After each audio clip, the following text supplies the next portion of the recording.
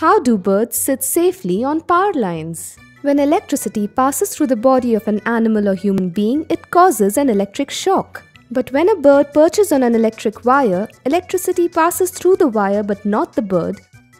We get our electricity from a power station through wires to offices, factories and homes. The force that pushes electricity through wires is called voltage. Voltage is very high when electricity leaves the power station. To make electricity safe for people to use, transformers and substations are set up to lower the voltage. Why are some birds killed by wires?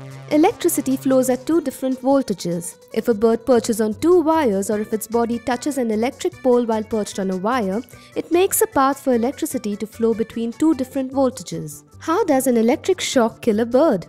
When electricity passes through something, heat is produced. When a strong current flows through the bird, it produces enough heat to cause a bad burn. The shock from the current causes the bird's heart to stop.